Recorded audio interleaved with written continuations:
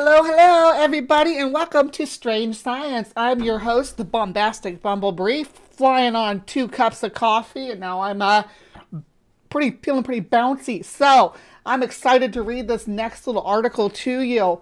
Um, I always, whenever I see these come up in the feed, in my news feed, because I have science, Live Science, IFL science, I have science news. There's just a lot of different resources that are always feeding me good information. But whenever I see something come up like this, I have to talk about it, and you guys have to put up with it. Pinky white, leucistic alligator with blue eyes, born in Florida, is one of only eight in the world. An extremely rare leucistic alligator born in Gatorland, Orlando, is the result of a genetic condition that leads to the partial loss of skin pigment, including a white translucent skin. An exceptionally rare light pink alligator has been born in Gatorland, a, wi- a wildlife park in Orlando, Florida. The female alligator, or female American alligator, alligator mississippiensis, has a genetic condition known as leucism, which results from a mutation in the genes that lead to redu- reduced pigment in feathers, hair, or skin. Unlike albinism, which results in pink eyes and a complete loss of skin pigment, animals with leucism only have a partial loss of pigment, normally have blue eyes and white translucent or pale pink skin. The newborn reptile is believed to be one of only eight leucistic alligators in the world. They are very occasionally born in the wild, but rarely survive beyond infancy due to health problems. Is this related to this? No, it's an ad. Because leucistic alligators lack normal skin pigmentation and thus sunburn easy, they cannot be exposed to sunlight for long periods and are at a high risk for of sun damage and skin cancer. Leucistic alligators are also rarely seen as adults because the skin means they are easily spotted by predators. However, the baby alligator is in good health and currently measures 19.2 inches, that's 49 centimeters long, and weighs 3 ounces, 96 grams, uh, park representative said.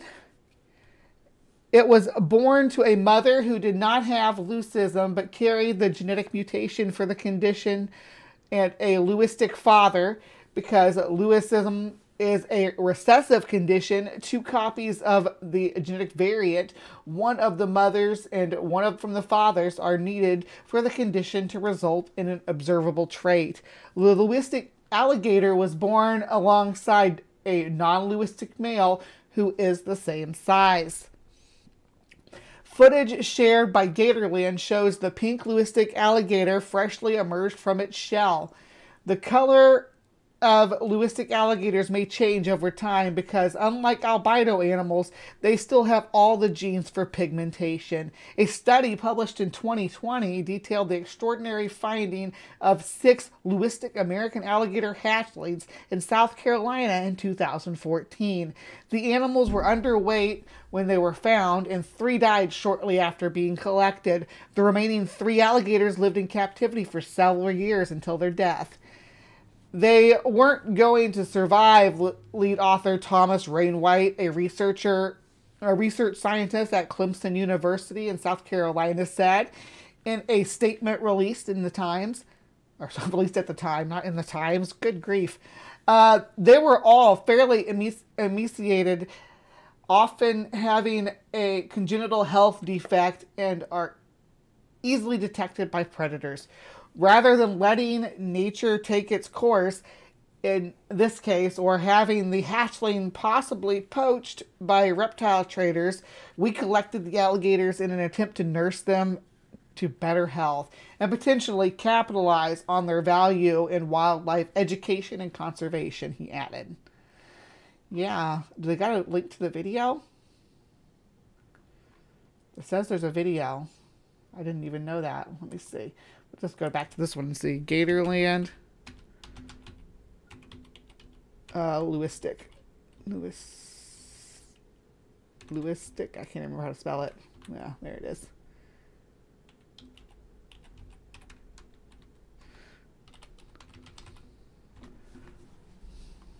Here we go. Are you gonna... And I'll go to Gatorland's official. Well, it's long though. That one's just gonna have stills. Gatorland's been keeping a real big secret here. I've been chomping at the bit to tell y'all. Boom, baby. Here it is. Oh, man, it's my turn. Wow. We've got for the very first time anywhere in the world I'm not. alligator. First Where's the?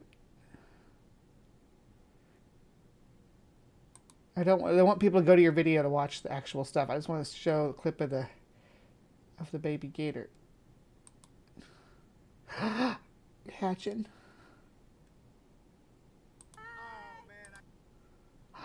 Oh my gosh! Oh my gosh! I watch that again. Oh, that's the dad and the mom.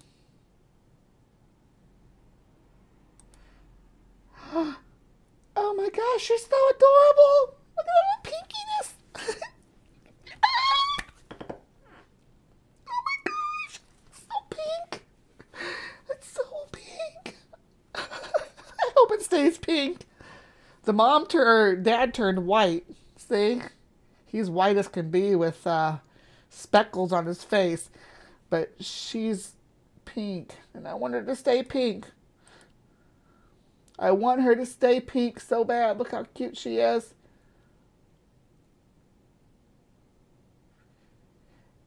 And she's pretty chill about being handled too, because uh, probably because Mama carries them in their mouth.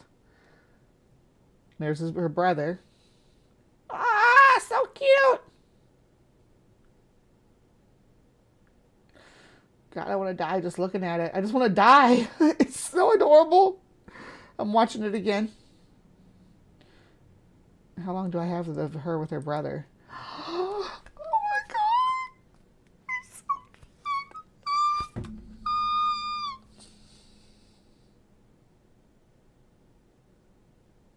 Okay, I see you're talking. I just want to see the alligator. Oh my gosh! Oh my gosh! Oh my gosh! Looks like you know what it reminds me of? Reminds me of a fairy armadillo. A pink fairy armadillo. Oh my gosh, they're so cute. Is that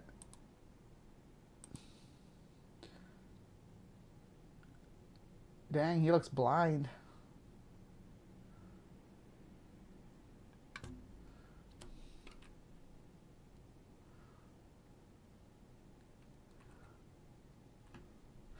So I should probably go to Gatorland, huh?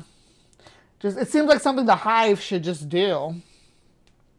Anyway, that was that was our little venture into strange science. I, at Gatorland, I believe they do a lot of uh, stuff for like conservation and stuff. I don't think they're necessarily as road roadside attraction as they seem. A little, like a little goofy, but um, I, I enjoy. I, I, you, who am I to judge? I'm goofy as fuck. I'm wearing a Mothman T-shirt right now.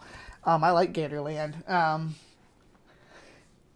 uh, uh, maybe there's a shadier side to Gatorland. I don't know. Maybe Sid Dwyer's gonna gonna flip on him. I, I don't know. Sid Dwyer, he he overturns uh, anybody's uh, fondness for pretty much any kind of zoological uh, expose. if you don't know who Sid Dwyer is, I'll put the link in the uh, or I'll link the description. Yeah. Anyhow, 1986 land survey deep in a Louisiana swamp by workers from the Louisiana Land Exploration Company. A clutch of 17 infant ivory reptiles was recovered. Only a few of the blue-eyed albino gators survived and now reside in Gatorland Theme Park in Florida. This is Bouya Blanc.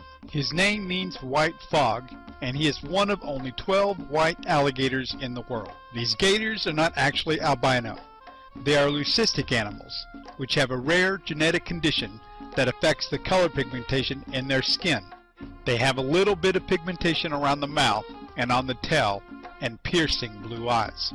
Other than that, they are your typical alligators who eat the same food. but their diet is supplemented with vitamin D, and because of sensitivity, their exposure to sunlight is limited during the day. Each of the four white alligators at Gatorland are all males and are between 10 and 11 feet in length. Yes, they are a standout at any attraction, but that would be their downfall in the wild. Because they lack their natural camouflage, they would have been vulnerable to many predators and would most likely not have survived for the world to enjoy.